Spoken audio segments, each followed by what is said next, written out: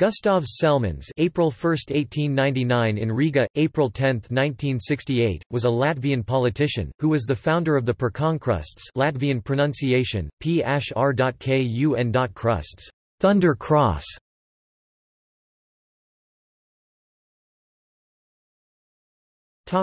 Biography He was educated at the Commerce School of the Riga Stock Exchange, and graduated in Moscow. In 1917, he began studies at the Riga Polytechnical Institute which had been evacuated to Moscow. After the October Revolution, he returned to Latvia. In 1918, Celmiņš enlisted into the newly created Latvian Army, and was promoted to lieutenant the following year, and was then appointed Latvian military attaché in Poland.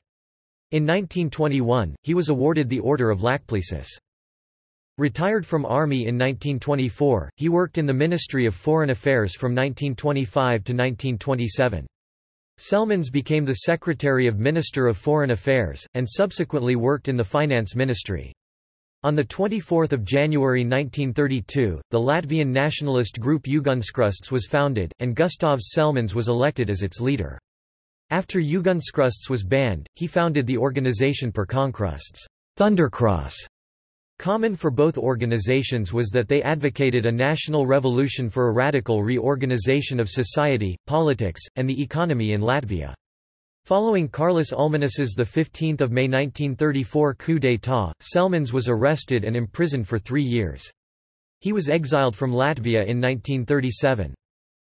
Celmiņš moved to Italy, then Switzerland. While in Zurich, he was arrested and then banished from Switzerland. He later lived in Romania, where he had contacts with the Iron Guard, and then moved to Finland. In 1938, he became the leader of Pērkonkrusts Foreign Contacts Office. After the Soviet Union invaded Finland, Celmiņš enrolled as a volunteer on the latter's side. When the conflict ended, he moved to Nazi Germany. In July 1941, after Operation Barbarossa, he, together with Nazi officials, returned to Latvia and regained leadership of Pērkonkrusts. After the occupation authorities once again banned Pērkonkrusts in August 1941, Celmiņš continued his outward collaboration with the Germans in the hopes that sizable Latvian military formations would be created. From February 1942, he headed the Committee for Organizing Latvian Volunteers Latvian, Latviešu Brivprātīgo organizācijas komiteja, the main function of which was the recruitment of Latvian men for the Latvian Auxiliary Police Battalions, known in German as Schutzmannschaften or simply Schuma.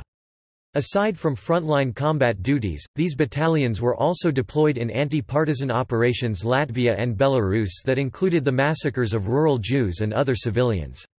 This situation was not what Celmiņš had hoped for, and so he began to sabotage the recruitment efforts. Because of this, he was later transferred to a job as a minor clerk within the occupation administration. Pērkonkrusts members working within the SD apparatus in occupied Latvia would feed Celmiņš information, some of which he would include in his underground, anti-German publication Brīva Latvija.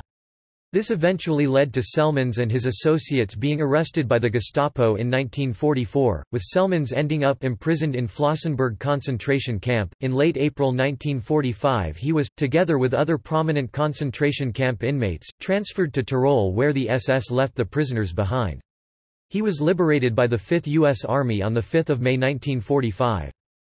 After World War II, he lived in Italy, where he published the newspaper Brīva Latvija.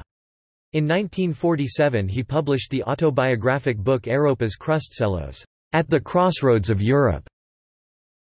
In 1949 he emigrated to the United States.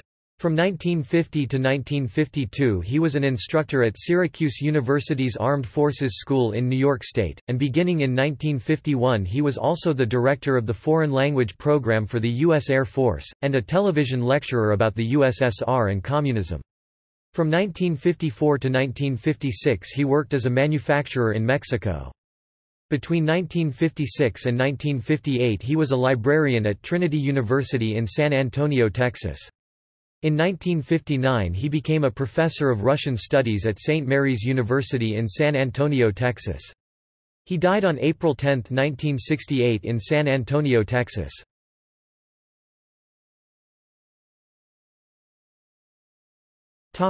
Quotes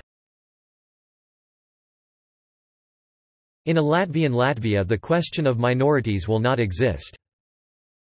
This means that once and for all we renounce unreservedly bourgeois liberal prejudice on the national question, we renounce historical, humanistic, or other constraints in pursuit of our one true aim—the good of the Latvian nation. Our God, our belief, our life's meaning, our goal is the Latvian nation, whoever is against its welfare is our enemy.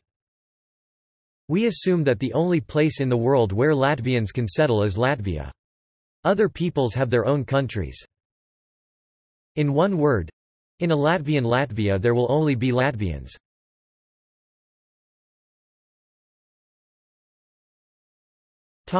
See also Igors Šiškins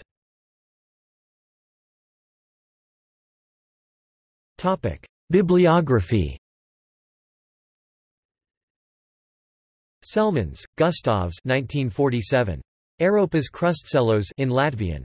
Esslingen, Gintārzemē. OCLC 4511464.